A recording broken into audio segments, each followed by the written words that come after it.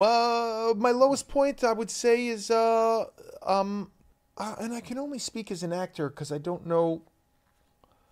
I've never really done anything else, but you go through some abject uh, unemployment, years of unemployment, you know, and it's uh, it's scary. I'm really fortunate to be married to someone who um, uh, stays uh, very busy. And um, I realized later on in our relationship, I, I've been with my wife for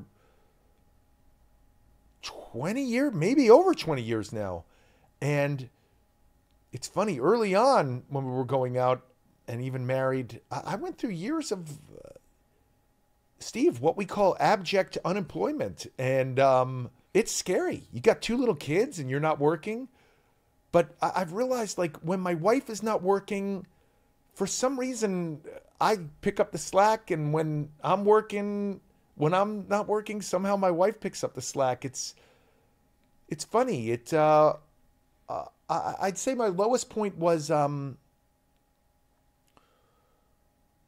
I mean, I, I, I hate to uh, make it about work because there's so much more to life than that. But um, it's scary when you're not working and you have bills. You know, it's uh, And you think you you- and you thought you'd be working for a long time, so you went out and bought that nice car or the house yeah, or whatever. I, you know, I never really overspent. I was never like that. But uh, I, I, uh, I just, um, you need money.